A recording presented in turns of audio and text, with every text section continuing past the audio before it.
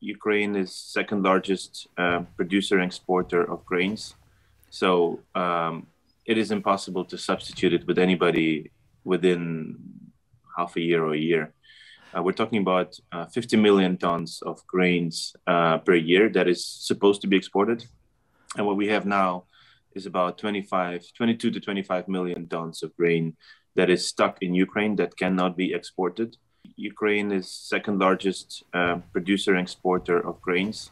So um, it is impossible to substitute it with anybody within half a year or a year.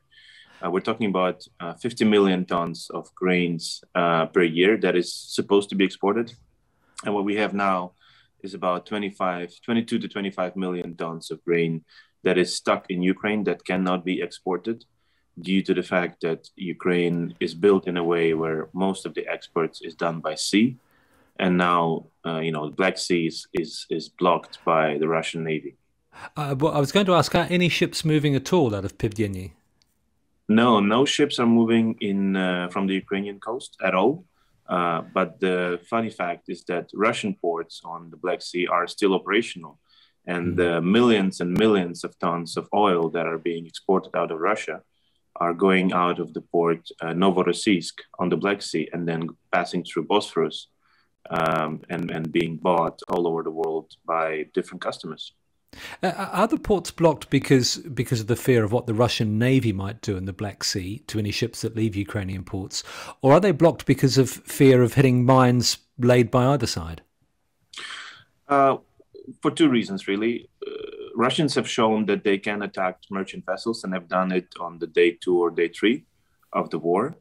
Um, so obviously, merchant vessels are not navy vessels. You cannot command them to to sail. That a lot of uh, you know a lot of parties are involved like insurance companies shipping agencies crewing agencies etc so before there will be some level of guarantees for uh, for the for the merchant uh, vessels they will not be able to sail and, and deliver grains to actually more than half a billion people around the world are are mm. um, receiving and, and eating um, Ukrainian grain.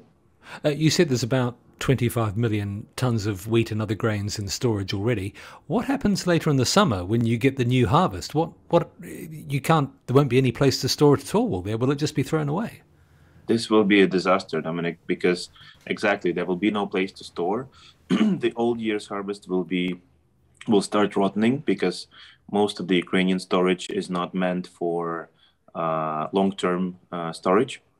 And we're talking about 25 million tons of last year's crop and approximately 30 million tons of new year's crop which is already kicking in. Um, it's it's going to turn into a very bad situation is there any prospect of moving it by rail yeah we've done our math and uh, by rail we could only do one and a half million tons per month uh, whereas we need 10 million tons per month in mm-hmm. order to to move out the, the grain that is stuck in the country from last year's crop and from New Year's crop. so that's only 15%. It's not going to do the trick, and there is no way to expand it in a sufficient manner. So the only really the only way is to unblock the ports, uh, hopefully with the with the help of uh, United Nations and, and Turkey and possibly other parties involved, like Egypt, for example, because Egypt mm. relies uh, on Ukrainian grain up to 45 percent and for them it's going to turn into a, a real real problem is there any way you think that that the access to the ports could be negotiated separately from from the war in Ukraine? Aren't the two things inextricably linked? There's no chance of there being a settlement or an agreement on ports without a without a wider agreement. Well, it's a great question. Um, um, to, my, to the best of my knowledge, Russia only understands power. So, in case the, the Western world will start hunting their oil exports, I would assume a separate agreement can be reached. But then this would have to be done with the help of UN. We see that UN is relatively um, efficient with the Azov uh, hostage situation uh, where they've been able to resolve it and to assist. Hopefully, they can do the same here. And I, I heard of some uh, talks happening between um, uh, UN, Turkey, and Russia.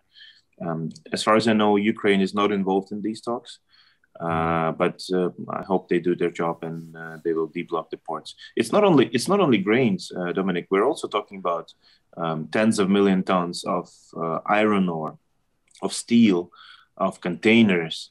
You know, if we if we if we want to launch the economy, as, as President Zelensky said, and we have to do it, um, we have to get other cargoes moving as well, like especially containers, because containers are delivering uh, you know, raw materials and, and end products for the SMEs in Ukraine, small and medium enterprises. Um, we, we cannot we cannot just sit and wait for help from the Western world. We have to get you know the economy up and running. And Ukrainian farmers have been actually very um, very good example of, of how you can do your job during bombings. Um, I've seen pictures and videos of you know uh, fields uh, being shelled and bombed during seeding or during harvesting it's incredible.